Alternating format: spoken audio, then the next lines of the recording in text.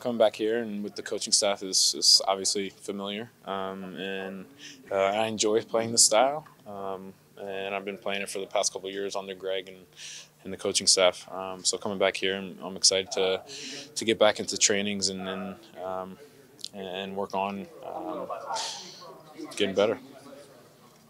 You put, took out an ad in Columbus to thank the fans, thank the city for what they gave you.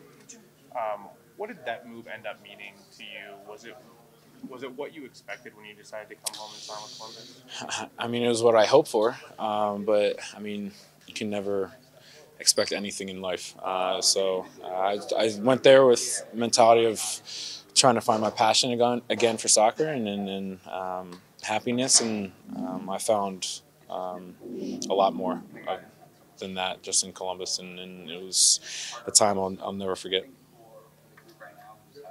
What's the mentality being considered the number one goalkeeper for the U.S. national team when you look at the, the guys who have come before you and what they mean in, the, in this federation's history? What does it mean to you to be considered the U.S. number one?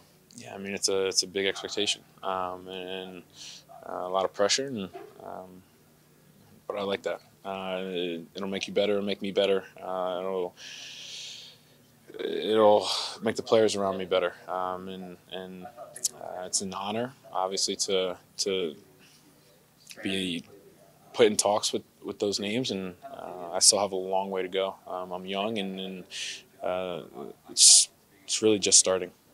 Do you talk to any of those guys? Have you talked to Tim at all about what it's you know how to kind of approach this this job?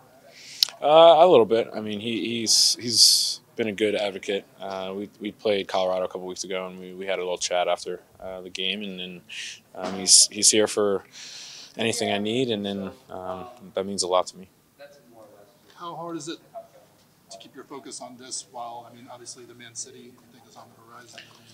Is it can, is, is it that difficult, or are you able to kind of separate? Yeah, I mean it's. I mean, there's a lot of feelings going in, into the summer. Uh, a lot of nerves, a lot of uh, excitement, um, a little bit of sadness, and, and, leaving the the chapter in Columbus. But uh, um, I'm really focused on the Gold Cup and, and, doing well here and raising the trophy here. Um, and then um, I'll focus on what lies next.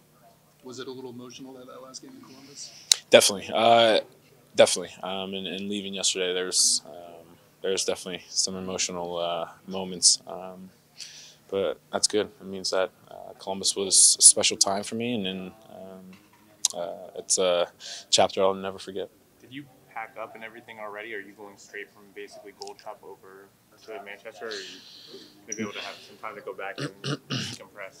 I think I'll have a couple days to go back and pack up because I'm not packed up yet. Um, but it'll be easy. I'm selling a lot of stuff to to some friends in Columbus, so um, I don't have that much to bring over uh, besides clothes and shoes. Um, so, I'll have, but I'll have a couple days to go back, pack up, say my goodbyes officially, and then fly over. You know, there's the side of preparing for a move to a new country, new culture, new team that every player that makes a transfer goes through. But you're making a transfer to one of the biggest clubs in the world, one of the best clubs in the world, under the best coach maybe ever. Um, how do you? What's the mentality and approach? Like, what are you expecting out of this move? What are you? What are your goals? What are my goals? I mean, I'm I'm not expecting. I'm expecting to get better, um, to get pushed, and, and um, to enjoy Europe. Um, but my mentality over there, to, before I go over there, is just to work hard and, and learn from the best, and um, just enjoy it. Uh, the career that we have here is so short um, when you look from the outside. So I'm just there to enjoy, work hard, and, and um, do as best as I can. Would you prefer to, to go to Manchester City and stay there for the season and, and be a you know perhaps a number two, or do you think you may go out on loan? What what's we're still figuring all that out. Um, but what's important for, for young goalkeepers is games. Um, and high level games, and, and that's what I'm um, looking forward to.